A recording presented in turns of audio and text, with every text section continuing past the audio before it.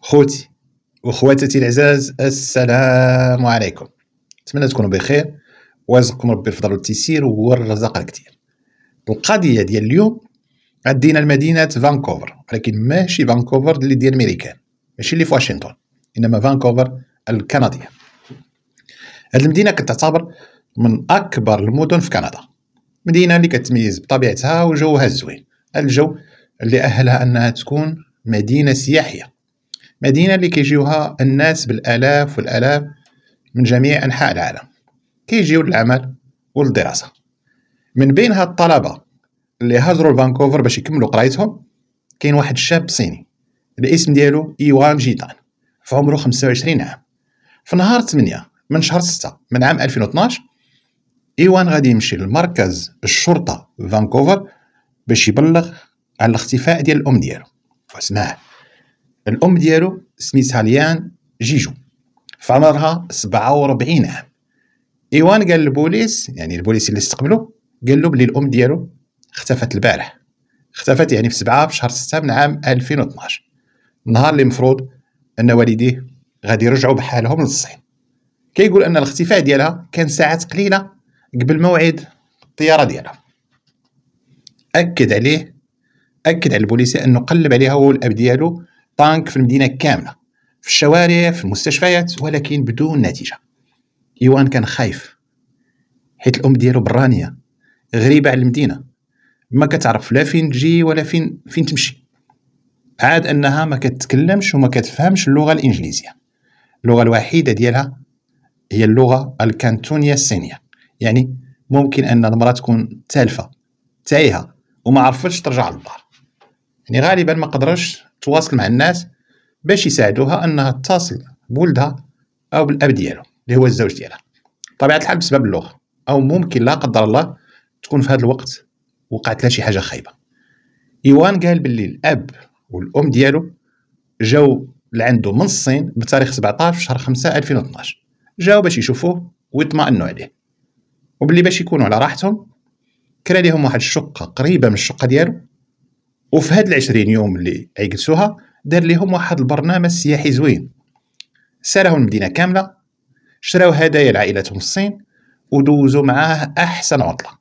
الأمور كانت غادة بخير وعلى خير كانوا فرحانين حتى كلشي تقلب إيوان قال للبوليس باللي نهار سبعة في شهر ستة هو موعد رجوع والديه للصين. قال لهم فقت بكري. ومشيت لعندهم باش نوصلهم للمطار. قال لهم بلي كان عارف إنه باقي بزاف ديال الوقت على موعد الطيارة ديالو هادشي علاش ملي لقى الأم ديالو فايقة ملي شاف أن الأب ديالو مازال ناعس مرتاح قال بلا ما نفيقو وقرر هو والأم ديالو باش يمشيو يفطروا في شي ريستورون الفطور كان زوين الأم ديالو كانت فرحانة ومرتاحة. بما أنه آخر نهار ليها فانكوفر مع ولدها بطبيعة الحال بحال كاع الاموات كباقي الأمهات غادي تسمع لولدها لائحة الوصايا العشر والتعليمات اللي كان أهمها أنه خاصو ينتبه لقرايته يبعد على أصدقاء السوء وياكل الماكلة اللي خلات له في الفريقو ويبعد على الأكل غير الصحي. المهم مباشرة من بعد الفطور رجعوا للبارتما ديالها. إيوان بدأ كيشارجي في دوك les valises في دوك الحقائب وال bagages كيشارجي في الطوموبيل. أمو كانت كتراقبو من الشرجم الفوق. كتقول له اين باليزا يديرها لتحت واين باليزا يخليها الفوق حيت كانت خايفة على بزاف د الحوايج أنهم يتهرسوا ليها. قال لهم وأنا في ديك الوقيتة كنت كنضحك مع الأم ديالي تفكرت بلي ما شريت لها تا cadeau ما شريتش ليها هدية. وهذا الشيء علاش ملي كملت وشارجيت كلشي في الطوموبيل مشيت بجرية للمركز التجاري. المركز التجاري ما كانش بعيد. كاين في نفس الشارع اللي كنسكن فيه. مشيت بطبيعة الحال باش نشري لها شي حاجة. باش ما تقلقش عليا. قالوا المسافة بين الدار والمركز التجاري ما بعيداش بزاف. قال لهم ديك الساعة شريت الأم ديالي واحد الكادو. كادو كان عبارة على حقيبة نسائية حقيبة اللي من الماركة المفضلة عندها هي ورجعت بالزربة باش نفرحها قال لهم اللي وصلت ملي طلعت للشقة صونيت دقيت ولكن ما فتحاتش قلت ربما تكون رجعت نعس ربما تكون دخلت في الناس عياد. استعملت السوارت اللي عندي ودخلت مباشره للمطبخ باش نوجد راسي شي قهيوه قال وأنا في المطبخ جا عندي الأب ديالي. صبح عليا وسولني على ماما. قال أنا استغربت. حيت كما قلت لكم ظنيت أنها غادي تكون عاودت رجعت الناس. قلبت عليها أنا والأب ديالي في الدار كاملة. نزلنا حتى الجرده اللي تحت من الدار حيت ربما تكون نزلات تشم الهواء في انتظار أن الأب ديالي يفيق وفي انتظار أنني عاود نرجع من ديك ال supermarché اللي مشيت نشري منه ال cadeau. ولكن للأسف ما لقيناهاش. اتصلنا بها في ال portable ديالها وتفاجئنا باللي التليفون ديالها مغلق. في ديك الوقت كانت كتستقبلنا غير العلبة الصوتية. الأب ديالي طمأني وقال لي أكيد ولدي غادا تكون نزلت تشري شي حاجة. ربما تكون نزلت عاود تمشى شوية. ربما التليفون ديالها ديشارجا وغير شوية وغادا تبان. شوية وغادا ترجع. قال لهم تسنيت المدة ديال ساعتين. ملي ما رجعتش خدينا الطوموبيل ونزلنا كنقلبوا عليها في مدينة كاملة. قلبنا في السوبر مارشي اللي كان في نفس الحي اللي كنسكنوا فيه مشينا لواحد المركز تجاري قلبنا عليها في الشوارع وحتى في المحلات الصينية لأن الأم ديالي قال لهم كانت بلية دير شوبينغ كانت تعجبها تسوق بزاف. قلنا ربما تكون رجعت عندهم باش تشري شي حاجة أخرى. قال لهم سولنا صحاب هاد المحلات هادو ولكن ما بانش الأثار ديالها نهائيا. ملي وصلت الجوج ديال العشية وبما أنه قرب الموعد ديال الطيارة جاتني واحد الفكرة. ديك الساعة قلت الأب ديالي ربما مي تكون خرجت وتلفت على العنوان ديال الدار. ولكن بما أن الموعد ديال الطيارة قرب ربما تكون مشات سبقتنا للمطار. ربما تكون دابا جالسة كتسنى تما. حيت كاين واحد المطار فانكوفر مطار واحد ما يتلفوش. ربما شي طاكسي طلبت منه أنه يوصلها. فعلا مشينا للمطار وحنا متأكدين أننا غادي نلقاوها تما. ولكن اللي وقع هو أننا ملي وصلنا ملي قلبنا عليها المطار كله مشينا لديك الصالة اللي كيوزنوا فيها الحقائب مكاتب ديال إجراءات السفر مشينا للمطاعم صالة انتظار والو ما بانش ليها الآثار نهائيا. ملي قرب الموعد ديال إقلاع الطائرة ولونساو لابيل على المسافرين للصين باش يجيو الأب ديالي كان محتار. كيقول واش نمشي ولا ما نمشيش؟ واش نمشي بحالي للصين ولا نبقى في كندا تنقلب على مراتي؟ قال لهم ولكن أنا طمأنتو وقلت له هادشي اللي وقع تكون شي حاجة بسيطة. أم ديالي غالبا مشات تشري شي حاجة ونسات راسها. ويمكن ما ردتش البال أن التليفون ديالها طفى وربما نسات حتى الموعد ديال الرحلة. قال لهم ديك الساعة طلبت من الأب ديالي أنه يسافر. إيش الطياره ويمشي خصوصا أنه كتسناه بزاف ديال الخدمة في الصين. قلت له بلي أكيد الأم ديالي اليوم غادا ترجع. وغادا تلحق عليك الصين في أقرب طائرة في أقرب موعد. قال لهم الأب ديالي في الأول كان مرتبك ما كانش مقتنع بهضرتي قال بلي خاصني نبقى. خصوصا قال أنا ما نقدرش نتحمل 13 ساعة ديال الطيارة وأنا ما عارفش مرتي في كاينة. ما عارفش شنو واقع عليها. عاد أنهم جاو بجوج فخاص يرجعوا بجوج للصين ولكن في نهاية المطاف ولدو قدر أنه يقنعه قال لهم حيت أنا بنفسي كنت مقتنع. مقتنع بأن الأم ديالي حتى فين تمشي. ما عنده ما يوقع ليها كندا فيها الأمان. وأنا بمجرد ما غادي نرجع للدار أكيد غادي نلقاها تما. قال لهم حاولت نلطف الجو ونخفف التوتر على الأب ديالي. قلت ليه وأنا كنضحك بلي ماما فكرتني في فيلم Maman j'ai raté l'avion يعني راها مشات عليها الطيارة. قال فعلا الأب ديالي سافر وأنا رجعت للدار. ولكن ما لقيتهاش كيما كنت كنتوقع. سنيتها الليل كامل. اتصلت بتليفونها بزاف ديال المرات. سولت عليها حتى الجيران. قلت ربما شي حد فيهم يكون شافها. ولكن بلا نتيجة. الأم ديالي بحالها تبخرات. قال لهم الليل كامل ما نعستش. تسنيت حتى الصباح وبمجرد ما طلع النهار جيت لعندكم باش نبلغ. البوليس فانكوفر فورا لونصاو عملية البحث. بحثوا في مستشفيات في مراكز الشرطة وفتحوا تحقيق في اختفاء يانجي. دابا غادي نمشيو للشقة اللي كانت عايشة فيها هي وراجلها. نمشيو ليها باش نشوفوا واش كاينة شي حاجة مثيرة للشكوك. مثلا بحال باب مهرس اثر ديال الدم يعني شي حاجة اللي كتدل أنها تعرضت للعنف أو تعرضت للاختطاف.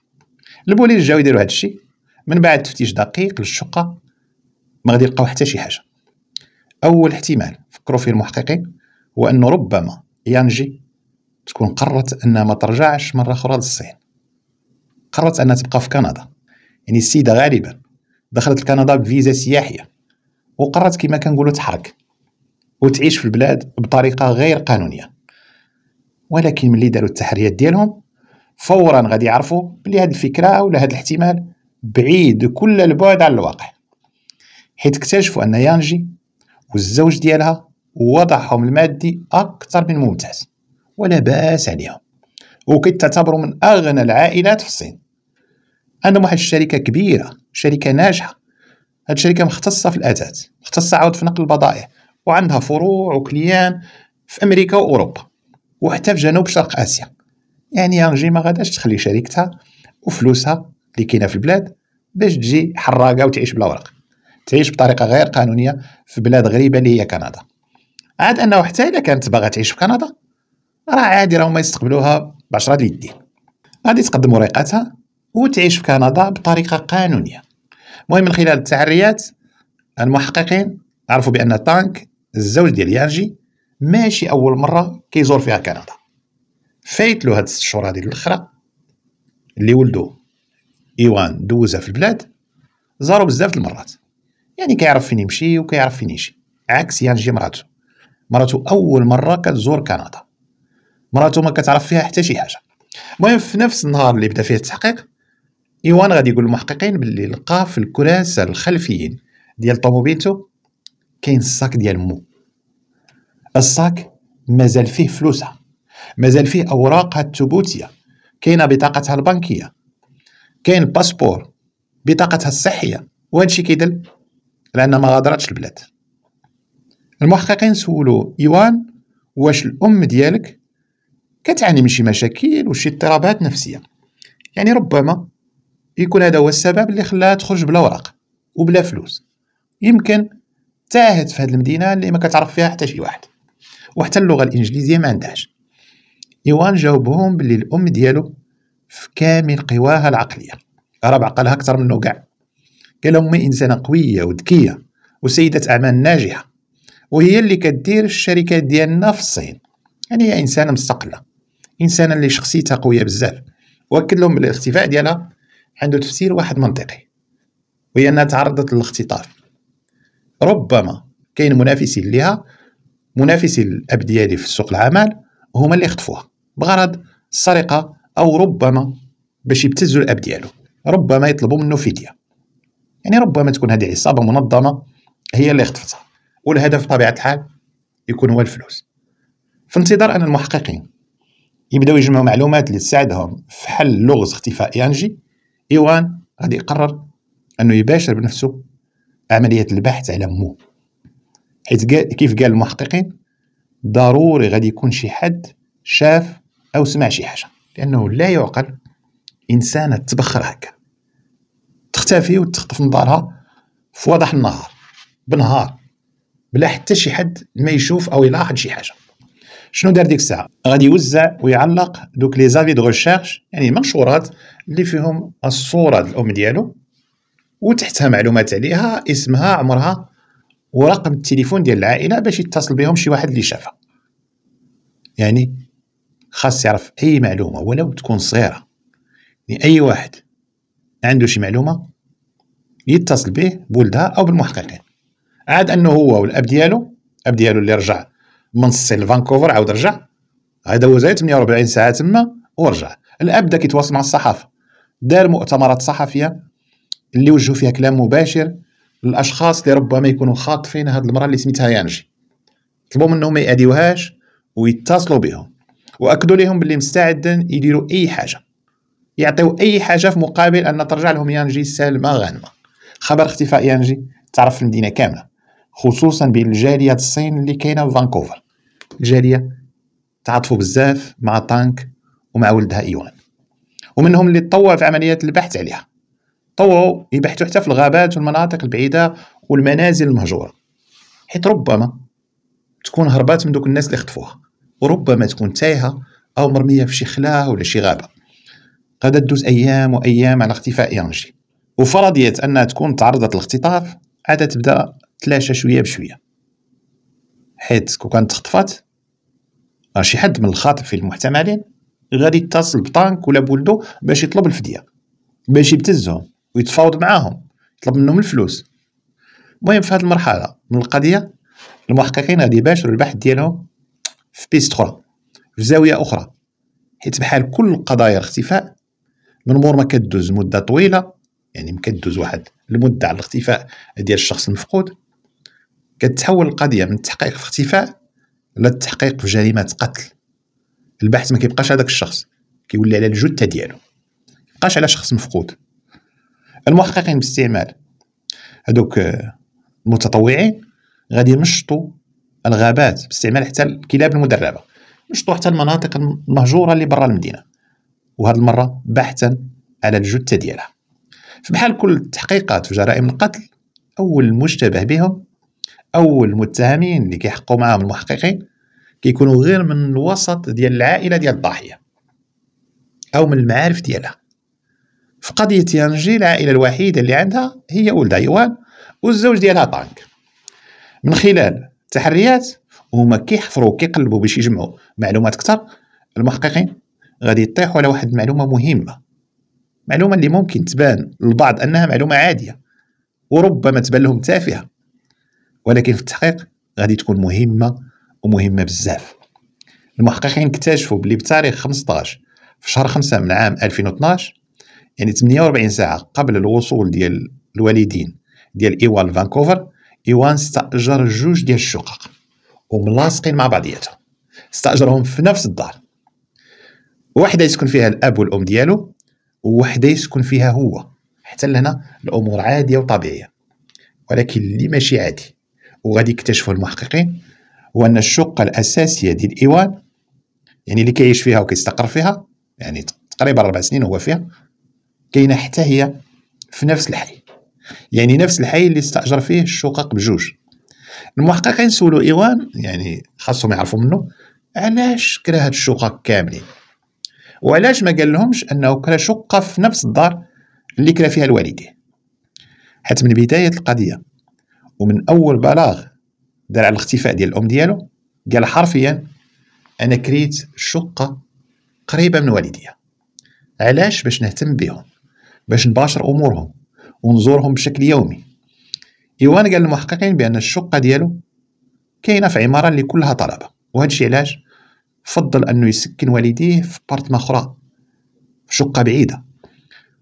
وملي سولو علاش كريتي شقة ملاصقة مع الشقة ديال والديك مع أنه بإمكانك تبقى في الشقة ديالك اللي قلتي فيها الطلبة وتبقى تزورهم في الوقت اللي بغيتي. خصوصا أن الشقة ديالك اللي فيها الطلبة كاينة في نفس الشارع. يعني نفس الشارع اللي سكنوا فيه هما. جاوبهم وقال لهم لا بغيت نبقى حدا والديا بالليل وبالنهار.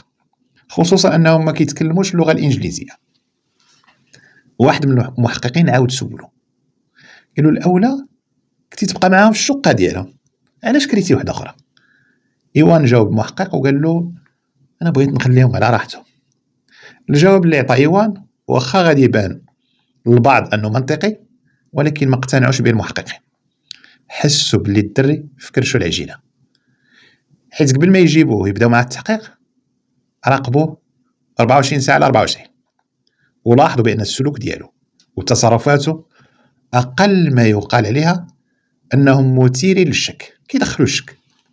التصرفات ديالو ماشي طبيعيين المحققين. غادي يلاحظوا بأن إيوان ملي كيكون مع الأب ديالو أو كيكون مع الجيران أو ملي كيكون حتى مع الصحفيين كيحاول يبان أنه متاثر وحزين ومقهور وبعض المرات كيبكي بسبب الاختفاء ديال مو ولكن ملي كتركز في التعابير ديال وجهه خصوصا في عينيه كتلاحظ واحد البرود واحد اللامبالاة غير طبيعية. حيت كما كيقولوا العين نافذة الروح يعني كتطلع عليها على الإنسان كيفاش داير. خي يا ما يخبي كيتفضح كيتفضح. والسيوان المحققين حاسن باللي فضحوا عينيه وماشي غير عينيه حتى تصرفاته.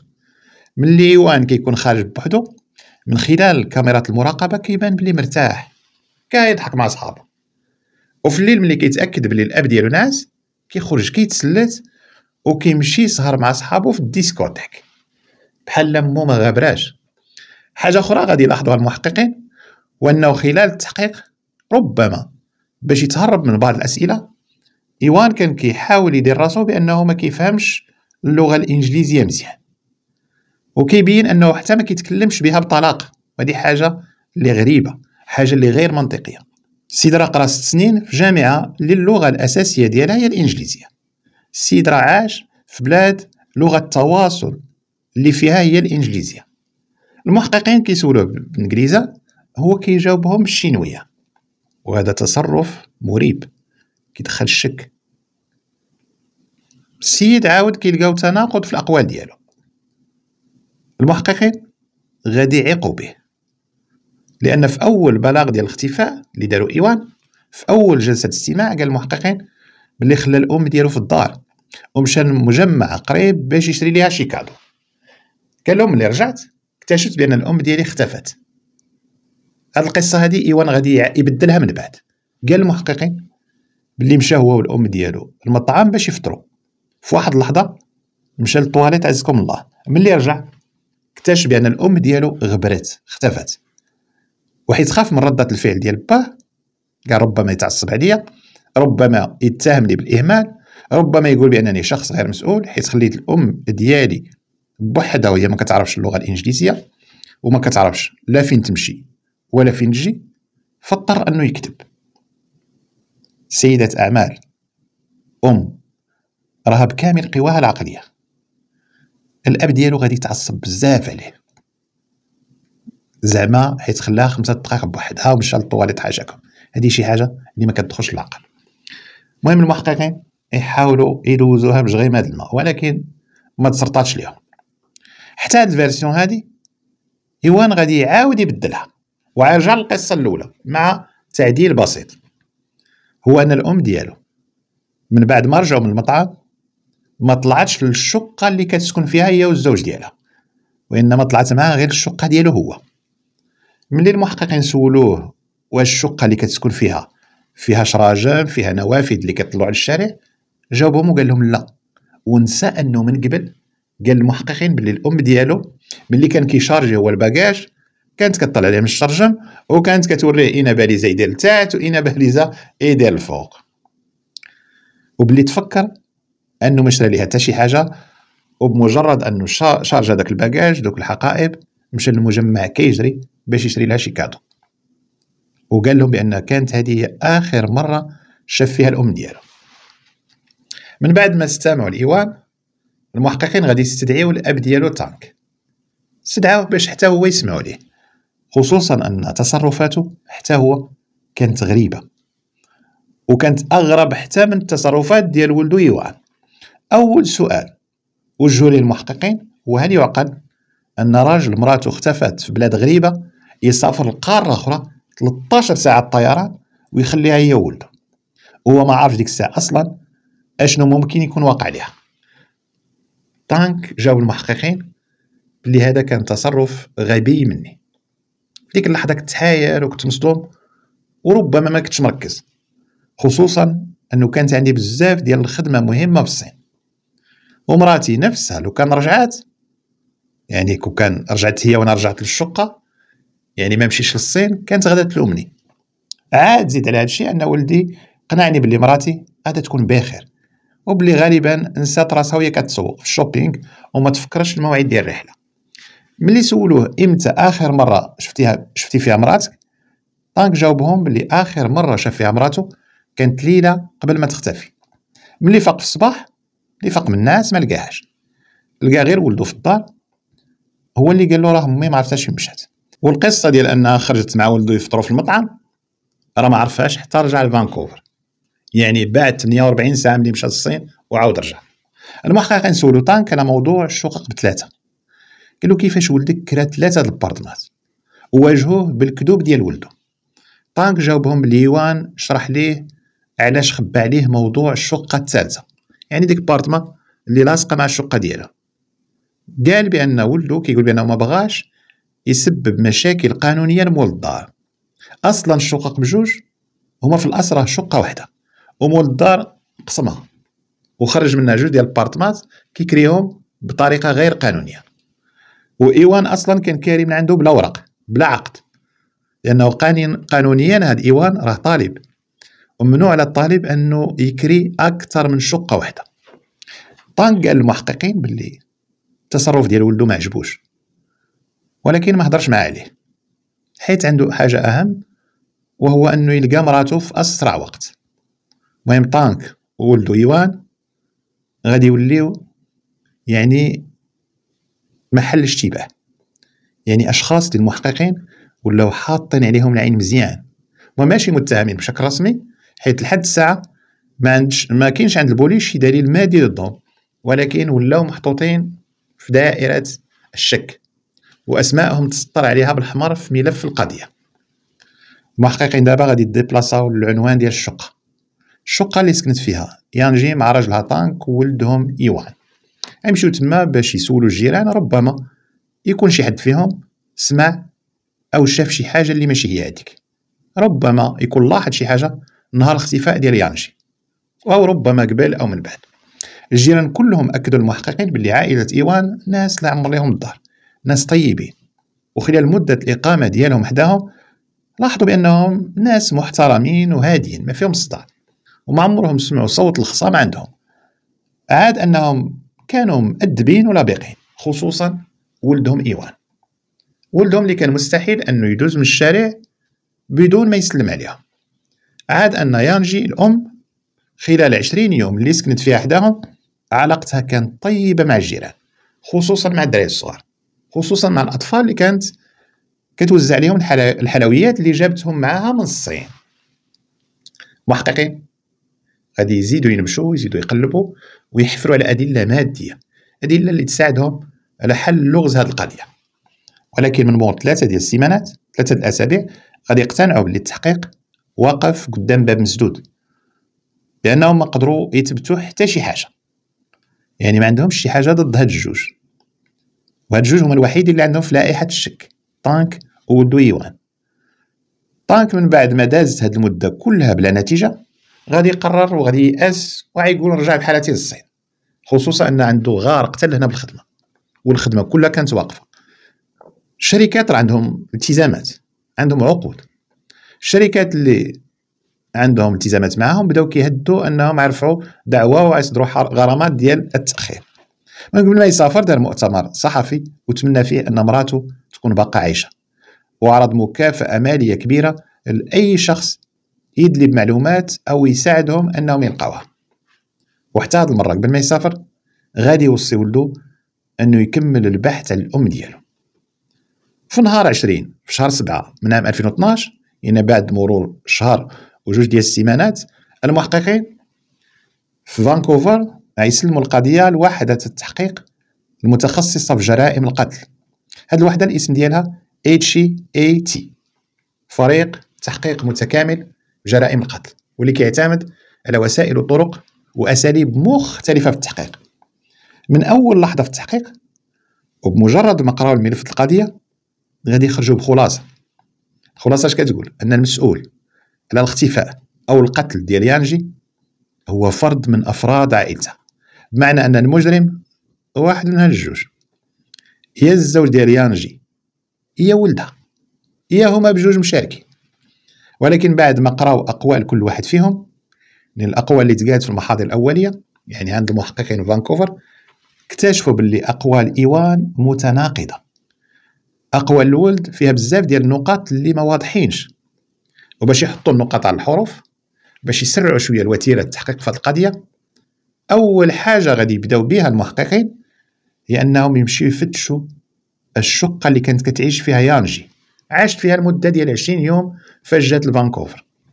المهم من بعد الفحص الدقيق بمادة اللومينول فحصوا ماشي هذيك الشقة الشقق بجوج المحققين غادي يلقاو آثار الدم. الدم فين؟ في الشقة اللي كان مستاجر إيوان واللي ملاصقة مع الشقة ديال والديه آثار أو بقع ديال الدم كانت بشكل كبير في الأرضية ديال غرفة النوم ديال إيوان. وماشي غير في الأرضية في الحيوط في السقف. والكمية أو البقع ديال الدم راه كانت كبيرة. المحققين عاود لقاو شي بقع تحت السرير تحت الناموسية. الناموسية كانت وسط ديك الغرفة. لقاو عاود داخل البلاكار اللي كان جنب الباب ديال ديك الغرفة ديال النوم عينه الدم؟ غادا تمشي للمختبر الجنائي. ولكن بعد التحليل ما غاديش يقدروا يحدوا واش الدم ديال يانجي ولا لا.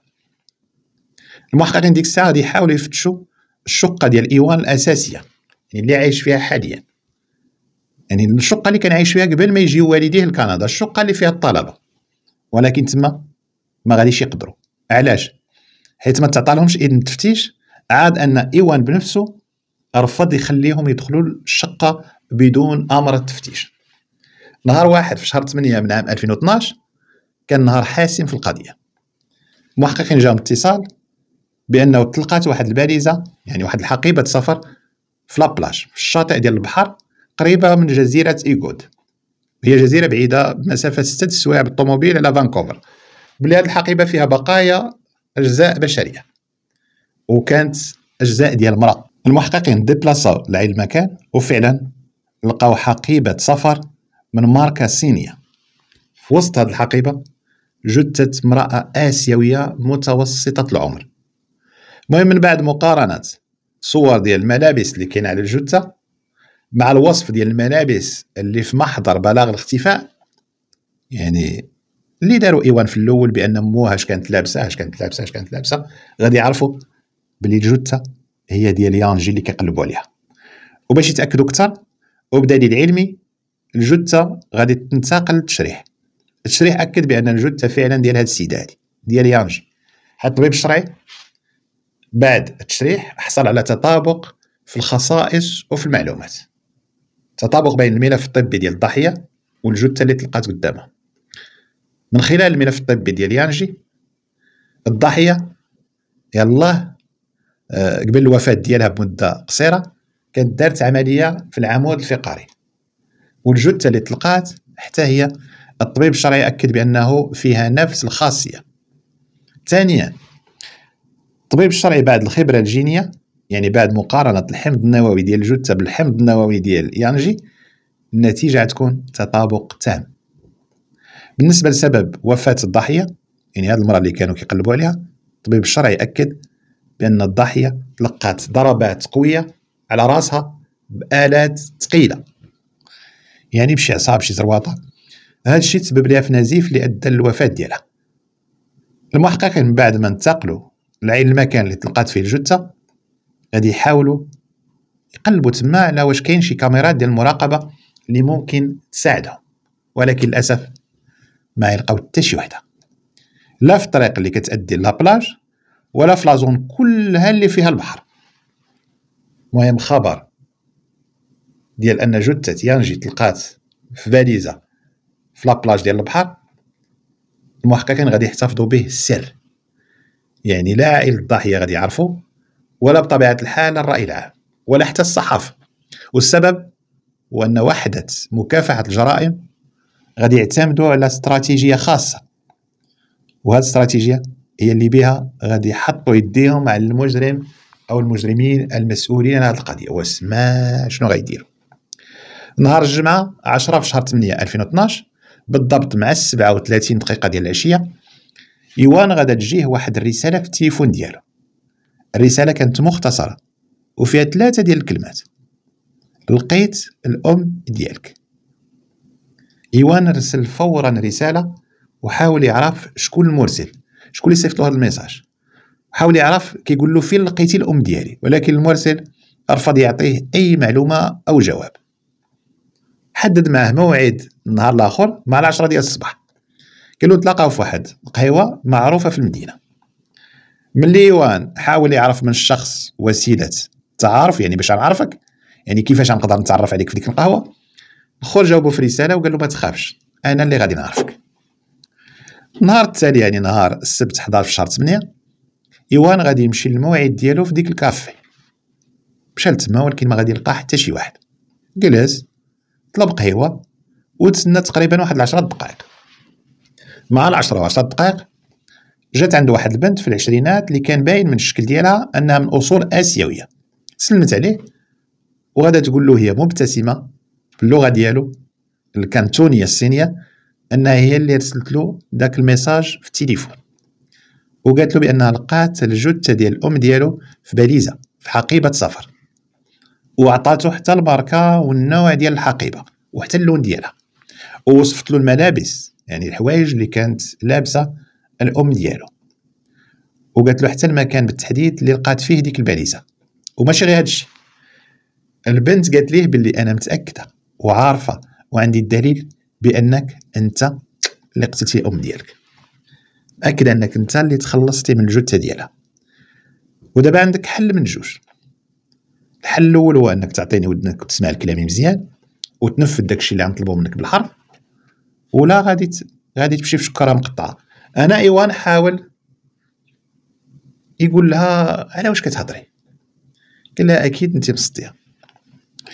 البنت جاوباتو قالت له شوف مطلوب منك أنك تعطيني واحد المبلغ ديال الفلوس. وعطاتو رقم خيالي. قلت له شوف أنا مستعده كيف لقيت الجثة؟ نخفيها وما يبان لهاش الاثار نهائيا. والحل الثاني اللي عندك هو أنك تعاند وترفض باش تعطيني الفلوس. وهنا بكل بساطة غادي نحطك كادو للبوليس. غنقدمك هدية ليهم ونعطيهم الدليل القاطع أنك أنت اللي قتلتي الأم ديالك. وأنت اللي تخلصتي من الجثة ديالها. دابا ما تجاوبنيش ما تجاوبنيش ولكن عندك 48 ساعة فكر واتصل بيا أنا كنتسناك. في نفس النهار مع 9 ديال الليل البنت غادي يجيها اتصال من عند إيوان. قال لها بأنني موافق وطلب منها موعد باش يجلسوا ويتفاهموا. نهار الحد 12 في شهر 8 مع 9 ديال الصباح إيوان غادي يتلاقى مع البنت. البنت راه رفضت أنها تعطيه حتى الإسم ديالها. اللقاء كان في مكتبة في نفس الشارع نفس الشارع اللي فيه السكن ديالو. وهاد المرة البنت ما جاتش بوحديتها. جاو مع جوج ديال الشباب أخرين وحتى هما من أصول آسيوية.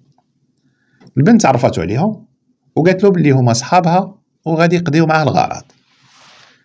الشباب بجوج بيهم شرحوا الإيوان باللي مستعدين أنهم يتخلصوا من الجثة ديال الأم ديالو ولكن خاصو قبل من هادشي يعطيهم نص المبلغ والنص الآخر بعد التنفيذ ديال العملية. إيوان وافق. ولكن شرح للبنت وشرح حتى للشباب اللي معاها باللي هذا المبلغ اللي طلبوه حاليا ما متوفرش عنده. ولكن اقترح عليهم واحد البلان. بلان اللي ما يفكرش فيه إلا مجرم ما عندوش ذره ضمير. إيوان وعد أفراد العصابة أنه يعطيهم المبلغ اللي طلبوا وعنده استعداد أنه يعطيهم مبلغ مضاعف. اسمع شنو الشرط؟ أنهم يصفيوها حتى الأب ديالو. قال لهم شوفوا أنا الوريث الوحيد ديال ثروة والدي الكبيرة. وبمجرد ما يموت الأب ديالي أنا اللي غادي نولد الجمل بما حمل. اللي ما كانش عرفوا ايوان هو ان البنت الآسيوية هي محققة كندية من أصول آسيوية. محققة تابعة لمكافحة جرائم القتل بكندا. والشباب بجوج اللي معاها حتى هما نفس الشيء. المحققين السريين طلبوا من إيوان باش يحكي لهم كل شيء على حياته. ويحكي لهم على علاقته بوالديه حيث بناء على هذه المعلومات اللي غادي يعطيهم ممكن يبنيو خطة سواء باش يتخلصوا من جثة الأم ديالو أو حتى باش يصفيوها لباه يعني يفهموا أنهم بروفيسيونيل وخاصهم يعرفوا التاريخ ديال حياته كامل. إيوان طاح في الفخ. وغادي يحكي لهم قصته كلها من الألف للياء. وغادي يسجلوه. قال لهم أنا وحيد والديا تولدت وكبرت في مدينة فوشان جنوب الصين. عائلتي ناس لاباس عليهم. عندهم شركة كبيرة الراس مال ديالها خيالي ومبيعاتها السنوية على الأقل عشرة المليون ين. لهم أنا عشت طفولة هادية. كنت دائما الولد المطيع الولد الظريف الولد السكوتي الولد اللي ما كتسمعش منه كلمة لا. وفي العائلة الكلمة الأولى والأخيرة كانت ديال الأم ديالي. الأم ديالي كانت متحكمة في كل شيء. ام ديالي متسلطة متحكمة في الشركة في الفلوس في الدار. ومتحكمه حتى في الأب ديالي اللي ما كانش يقدر يرفض لها شي طلب ما كانش كيقدر حتى يناقشها. ما كيقولش كلمة لا. شخصيته قوية ومتسلطة. وملي كنت صغير لاحظت بأن الأم ديالي ماشي بحال كاع الأمهات. أمي ما كانتش كتلعب معايا ما كانتش كتضحك معايا ما كانتش كتعتني بيا. أغلب الوقت المربية هي اللي كانت مقابلاني. لدرجة أني في واحد الفترة من الفترات ظنيت بأن المربية هي الأم ديالي الحقيقية. ولكن ملي وصلت لسن المراهقة لقيت نفسي في مواجهة مباشرة مع أمي. أمي كانت كتحكم في الصغيرة والكبيرة في حياتي. كتحكم في نوع الأكل اللي خاصني ناكل في الوقت اللي خاصني ناكل فيه في نوع ولون الملابس اللي خاصني نلبس. مثلا الجين أو الجلد كان ممنوع عليا أنني نلبسهم نهائيا. كانت كتحكم في نوع الأصدقاء في المستوى الاجتماعي ديالهم كان ممنوع عليا أنه يكون عندي صديقات بنات أو يكون عندي أصدقاء أقل من المستوى الاجتماعي ديالي. كنت كتحكم حتى في الهوايات اللي خاصني نمارس. حيت في قانون الأم ديالي كرة القدم هي مضيعة الوقت كرة القدم ما كتناسبش ولد بحالي. خاصني نتعلم الشطرنج والجيدو وهما الرياضة اللي خاصني نمارس عليا. أما بالنسبة للدراسة فهي كانت مصيبة كبرى هذيك. قال لهم ملي كملت دراستي الثانوية؟ الأم ديالي قررت أنني خاصني نسافر لكندا. خاصني نمشي لهنا باش نكمل دراستي في مجال تسيير الفنادق. الأم ديالي كانت ناوية تفتح مشروع سلسلة فنادق في كندا وبغاتني أنا اللي نسيرو وملي رفضت قامت الدنيا ولم تقعد. نوضت الروينة خصوصا ملي عرفت السبب. عرفت السبب اللي على قبله ما بغيتش نسافر خارج الصين. أنا كنت كنبغي واحد البنت معايا في الثانويه ومن الأم ديالي عرفت بعلاقتي بها وعرفت باللي هي بنت موظف بسيط عندنا في الشركة هدت اولا الأب ديالها بالطرد وقالت له بأن بنته إلا ما قطعتش علاقتها بيا راه غادي تجري عليا. في 2006 جيت لكندا وأنا كاره راسي وكاره والديا كرهت التحكم ديال الأم ديالي في حياتي. من أول نهار ليا في كندا حسيت براسي غريب مخنوق. واكتشفت باللي التحكم ديال الأم ديالي في حياتي غير فين زايد وكيتزاد كتر وكتر. الأم ديالي وهي في الصين وأنا في كندا هكا كانت كتكونترولي حياتي وكتسيرني كيما بغات بحال كتحكم فيا ب télécommande كنت بحال لعبة في يديها. وصل بها الأمر أنها عينت جواسيس عليا جواسيس من الطلبة اللي كانوا كيقراو معايا هنا في كندا. باش بطبيعة الحال يعطيوها أخباري أول بأول. زدت كرهت قرايتي أكثر وأكثر وبدل ما نمشي نقرا وليت عطيها الصهير في لي ديسكوتيك كاملين. النهار كله كنبقى ناعس. المهم أي حاجة كنت كنعرف باللي غادا تقلق الأم ديالي وتعصبها يعني تثير الغضب ديالها كنت كنديرها بالعاني. يعني نحاول نفقصها. وليت كنخسر فلوس بزاف. وتبليت حتى بالقمر. وبطبيعة الحال النتائج ديالي الدراسية كانت من سيء إلى اسوء تهابط في الهاوية. ما بقيتش أصلا كنمشي نقرا. وهي ملي عرفت جمعت يديها وما بقاتش كتعطيني مصروف بزايد. ما بقاتش كترسل ليا الفلوس كما كانش كترسلهم في الأول. مع الوقت وبدل ما ناخذ ديبلوم بحالي بحال صحابي لقيت راسي شخص فاشل. كندور في دوامة وغارق في الكريديات. وباش نسد الديون ونقدر نعيش خدمت في واحد المطعم صيني بدوام جزئي وبصفة غير قانونية. حيت أصلا أنا عندي فيزا ديال الدراسة ماشي ديال الخدمة. ممنوع عليا نخدم. قال لهم كنت كنغسل الماعن كنظف في المطعم وفي عز البرد. هكا باش نقدر نعيش. وملي شكيت وحكيت ليها على الحالة اللي وصلت ليها بقات كضحك وكررت ليا نفس الجملة. جملة اللي كانت كتكررها ليا من نهار نفاوني لكندا. قالت لي مزيان. خاصك تخدم باش تعرف أن الفلوس راه ساهل تصرفها ولكن صعيب باش تقدر تجيبها. أنا وباك تكرفصنا حتى درنا هاد الثروة هادي. حتى انت باش تحافظ عليها خاصك تمرمد في الأول. خاصك تسف التراب بحالنا باش تعرف بقيمة الفلوس باش ما تخسرهاش دغيا. قال لهم حقدي على والديا كان كيزيد نهار على نهار. هما عايشين عايشين في العز والنعيم والفلوس وأنا عايش في القهر في الفقر وفي ضيق الحال ومتغرب في فانكوفر. قال لهم واخا هادشي كامل كنت صابر. ولكن في 2011 ملي رجعت للصين رجعت على أساس باش ندوز العطله ديالي كلشي غادي يتغير. حيت فاش رجعت لتما وكنت ناوي فعلا نصلح علاقتي بوالديا خصوصا بالأم ديالي كنت ناوي نجلس معاها ونتناقشوا ولكن هي ما عطاتنيش فرصة. خصوصا أنها عرفت بلي أول ما رجعت للصين تعرفت على واحد البنت وباللي وليت كنبغيها وناوي معاها عاود الزواج. الأم ديالي رفضت الموضوع رفضا باتا وما عطاتنيش فرصة. ما خلاتنيش حتى نقدم ليها البنت أو نعرفها عليها. قالت لي حرفيا أنت إنسان فاشل واختياراتك أفشل منك. هاد البنت هادي ممكن تدوز معها وقيت ممكن تسهر معاها ولكن أنك تزوج بها لا. الزواج أنا اللي غادي نختار لك البنت اللي تناسبك. أنا اللي غادي نزوجك. مراتك خاصها تكون من عائلة عريقة من عائلة غنية. خاصك شي نسب اللي يشرفنا ويشرفك. ماشي من عائلة فقيرة اللي النسب ديالهم كيحشم. قال لهم فعلا سالت العطلة ديالي ورجعت بحالتي لكندا. جلست تقريبا لمدة شهر جاني اتصال من البنت اللي كنت كنبغي. قالت لي وهي كتبكي بأنها حاملة وطلبت مني أني ضروري خاصني نتزوج بها. في ذاك النهار نيت اتصل بالأب ديالي وحكيت له المشكلة ديالي. صرحته بكل شيء. وقلت له رانا كنبغي هاد البنت. رانا باغي نتزوج بها. وقلت له رانا ما في كندا وغادي نرجع للصين باش نكمل حياتي مع الإنسان اللي كنبغي. الانسان اللي راه حامله دابا بولدي أو بنتي. قال لهم الأب ديالي واعدني. وقال لي بلي غادي نلقى لك حل. قال لي غيكون هاني. قال لهم ولكن الحل عرفته بعد 24 ساعة. الأم ديالي مشات لعند البنت وهدتها وهدت عائلتها وجبرتها أنها تخلص من الجنين. قال لهم من هذاك النهار قررت أنه باش نعيش الأم ديالي خاصها تموت. وفي أقرب فرصة. قال لهم الفرصة جاتني نهار 17 شهر 5 من عام 2012 ملي الأم ديالي والأب ديالي قرروا أنهم يجيو عندي لكندا. يجيو باش يزوروني ويدوزوا معايا العطلة. قال لهم كريت جوج ديال الشقق حدا بعضياتهم الشقه رقم ثلاثة الشقه رقم أربعة.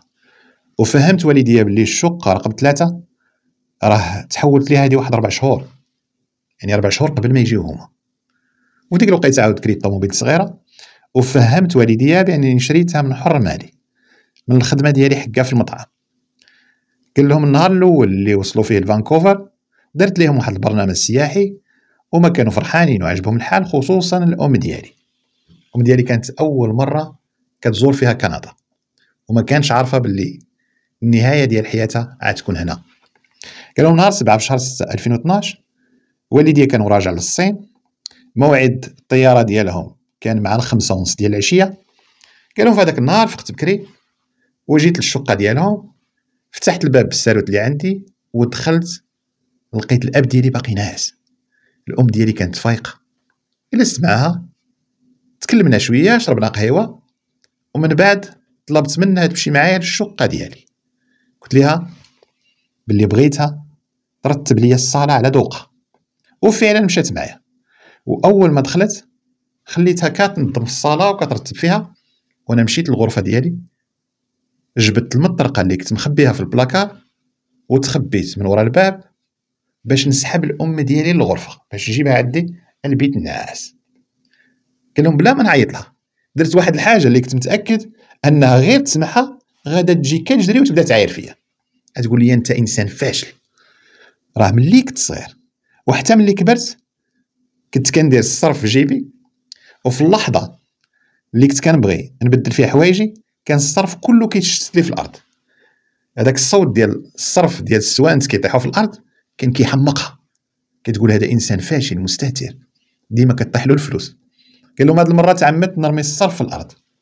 ماشي باش نعصبها وإنما باش نخليها تجي وننهي لها حياتها.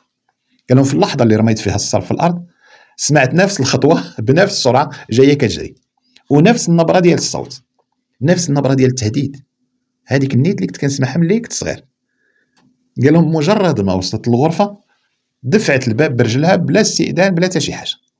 دارت كيما موالفة كدير حياتها كاملة. السيدة ما فهمتش أنني كبرت. وضروري تكون عندي خصوصية في غرفتي. بلي ممكن نكون عريان وما عندهاش الحق تدخل عليا بدون استئذان.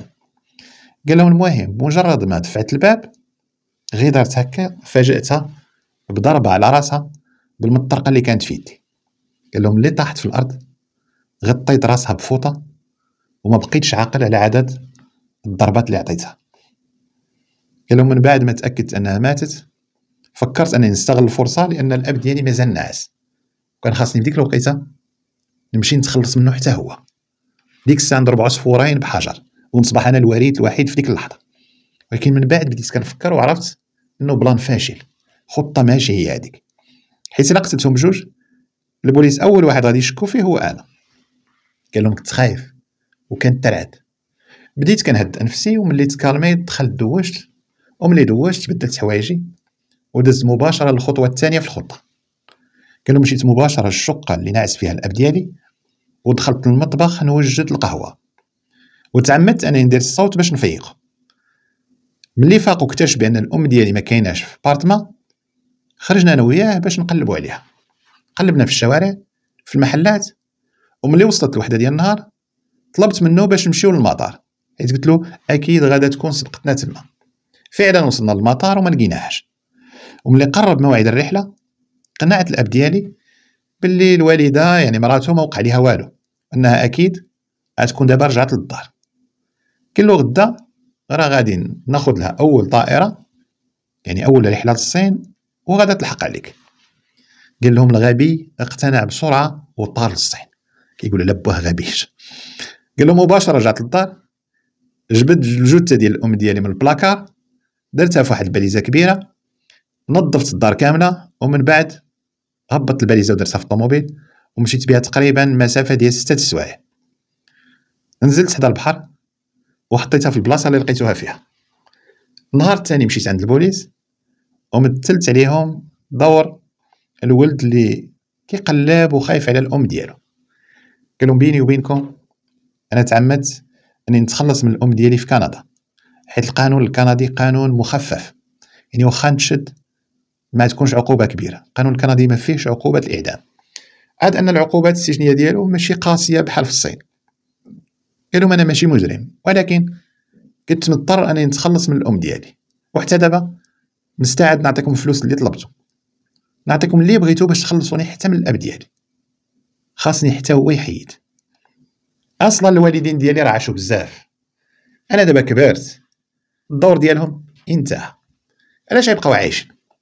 علاش غيبقاو مقنطنها بيا من الأحسن أنهم يسافروا للعالم الآخر. عالم زوين وما فيش الناس الخايبين. يخليو هذا العالم هذا. الكرة الأرضية مستحيل تهزنا بثلاثه بينا المهم نهار سبعة. في شهر تسعود من عام 2012 غادي تلقى القبض على إيوان جيتانك بتهمة القتل العمد مع سبق الإصرار والترصد قتل الأم ديالو. وتحكم عليه حتى بتهمة التحريض على القتل في حق الأب ديالو لأن كان كيحرضهم باش يقتلوا باه. إيوان في المحاكمة ديالو حاول ينكر الجريمة ديالو ولكن من المحققين واجهوا بالاعترافات اللي سجلوها له العملاء السريين سجلوها له صوت وصورة ديك الساعة اعترف اعتراف كلي. الأب ديال ايوان من بعد ما عرف بأن ولده هو اللي قتل الأم ديالو وكان ناوي يصفيها له حتى هو سامحه. المشكلة ماشي غير سامحه القلب ديال الأب. راه ماشي غيسامحو وكل ليه محامين باش يدافعوا عليه. هم اللي الصحافة والراي العام وعائلته سولوه علاش درتي هادشي. جاوبهم وقال لهم أنا خسرت مراتي وما عندي استعداد أني نخسر حتى ولدي. وأنا متأكد أن مراتي ما غاداش تكون مرتاحة وما غاداش تكون فرحانة في قبرها. إلى ولدها دوز بقية حياته وعمره في السجن. إيوان راه كان عزيز عليها بزاف. وكانت كتمنى له أي حاجة زوينة في هاد الدنيا. كانت كتبغيه ولكن بطريقتها. ربما كانت كتحاول تعالجو والدواء ديما كيكون حار ما كيكونش حلو. نهار جوج شهر جوج من عام 2015 غادي تحكم على إيوان بالسجن المؤبد. مع امكانيه إطلاق السراح المشروط من مور 17 عام. كانت هذه القضية ديال إيوان. قضية اللي خطيرة في أحداث معقدة. قضية اللي كتبين بأن كثرة الضغط كتولد انفجار. سبحان الله كاين بعض العائلات اللي عندهم نفس التفكير ديال يان جيو عندنا حتى حنا كمغاربه راه نفس التفكير نفس العقليات. هاد العائلات كيقولوا كيما دزنا حنا من العذاب كيما تكرفصنا على الريال كيما تعذبنا وسفينا التراب باش نديروا هاد الثروة. حتى ولادنا خاصهم يدوزوا من نفس المراحل باش يعرفوا قيمتها. خاصهم حتى هما يتعذبوا كيما تعذبنا حنا. حتى هما ياكلوا التراب باش يعرفوا قيمة الفلوس باش ما يخسروهاش. ولكن ما عارفينش بأن الله سبحانه وتعالى رزقهم بديك الفلوس باش يمتعوا بها وليداتهم باش يعيشوا ولادهم الحوايج اللي ما قدروش هما يعيشوها وما صغار. باش بديك فلوس يوصلوا ولادهم المراتب اللي ما قدروش هما يوصلوها. عندهم الفلوس باش يسهلوا لوليداتهم الحياة يسهلوا لهم الأمور المادية. يعني خاص يسهلوا على وليداتهم ولكن ما يكونش إفراط ما يكونش تبذير يعلموهم القيمة ديال الأشياء. ماشي بالحرمان ماشي بالضرورة نحرم ولدي أو بنتي باش نخليه يعرف قيمة ديك الحاجة. وماشي بالضروري يتكرفس عليها باش عاد يعرف قيمتها. بطبيعة الحال القسوة. وكثرة الضغط كتولد انفجار. وبطبيعة الحال عاود راه هذا ماشي مبرر للجريمة.